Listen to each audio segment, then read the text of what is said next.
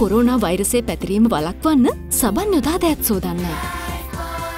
සෝදන්න. ඒදිනේ කන්තකාඩු නිරෝධයන මධ්‍යස්ථානයේ නිරෝධයන අවසන් කළ පිරිසක් රැගෙන මාතර බලාගේ යුදහම්දා බස්රථයක් අධිවේකි මාර්ගයේ බණ්ඩාරගම කොළමැදිරිය ප්‍රදේශයේදී අනතුරට ලක්ව තිබෙනවා. විදේශීය සංචාරකයන් පිරිසක් රැගෙන කටුනායක ජාත්‍යන්තර ගුවන්තොටුපළ බලා යමින් සිටි බස් රථයක් යුදහම්දා බස් රථේ පිටුපස ගැටීමෙන් අනතුර සිදුව ඇති අතර අනතුරින් සංචාරක බස් රථයේ රියදුරට සහරිය සහයකට බරපතල තුවාල සිදුව ඇති බවයි අද දෙරන වාර්තාකරු පැවසුවේ. යුදහම්දා රථයේ ගමන්ගත් සෙබලෙක්ද අනතුරින් තුවාල ලබා ඇති අතර ඔවුන් මේ වන විට හොරණ මූලික රෝහලේ ප්‍රතිකාර ලබනවා. ලීව ආයුෂ් කරාබු නැටි දන්තාලේපය ශක්තිමත් දන්